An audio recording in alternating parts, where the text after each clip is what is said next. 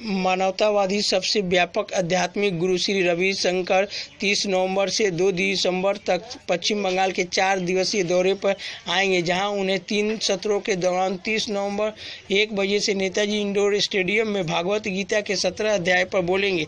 गुरुदेव तब किसी सार्वजनिक कार्यक्रम के लिए आसनसोल जाएँगे। सोमी मित्रा ने कहा, शहर में जीवन शैली की बीमारी का बोझ बढ़ता जा रहा है। मुख्य रूप से तनाव, चिंता, पर्यावरणीय कारणों को गलत जीवन शैली और भोजन की आदतों जैसे कारकों के कारण लोग स्वास्थ्य तनाव मुक्त शांतिपूर्ण रहने की तरीकों की तलाश है। पच, पूरे पश्चिम बंगाल के हज़ारों लोग इस कार्यक्रम में शामिल होने की उम्मीद है। पश्चिम बंगाल में गुरुदेव परियोजना उड़ान को प्रेरित किया है जो यौन कर्मियों को बच्चों के लिए सुरक्षित आश्रय बनने के लिए एक ब्रेकिंग प्रयास है और उन्हें स्वास्थ्य सेवा शिक्षा व्यवसायिक